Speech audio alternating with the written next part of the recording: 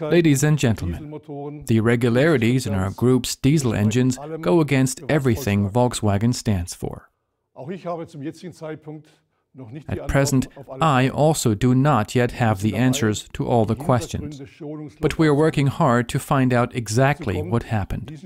To do that, we're putting everything on the table, as quickly, rigorously, and transparently as possible. arbeiten wir weiter eng And we continue to cooperate closely with the relevant government organizations and authorities.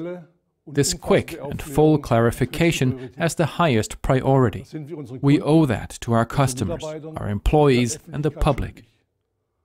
And to be frank with you, manipulation and Volkswagen, that must never be allowed to happen again. Ladies and gentlemen, millions of people all over the world trust our brands, our cars, and our technologies. I am deeply sorry that we have broken this trust. Ich entschuldige mich. I would like to make a formal apology to our customers, to the authorities, and to the general public for this misconduct.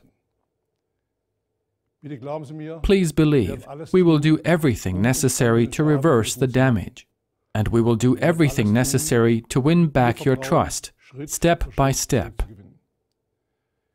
In our group, more than 600,000 people work to build the best cars for our customers. I would like to say to our employees, I know just how much dedication, how much true sincerity you bring to your work day after day. I am aware that many things have now been called into question, and I understand that.